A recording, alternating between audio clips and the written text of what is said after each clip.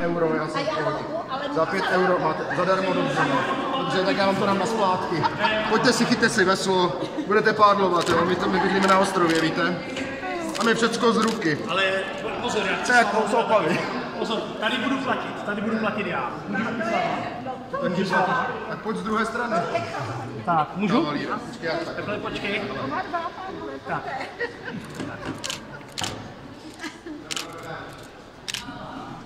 Dobrý den, dobrý den. Já vás vítám v hlavě, jaká byla cesta?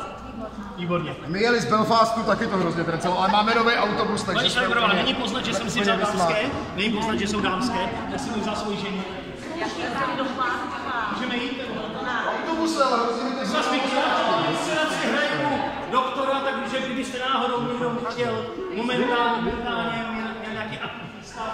skutečně já to velmi dobře ovládám. Byl jsem několikrát na stáži MZS, to je integrovaný záchranný systém, a byl jsem skutečně šťastný, že mě jedna posádka vyhodnotila tak, že s nimi mohu jezdit. Oh, bože.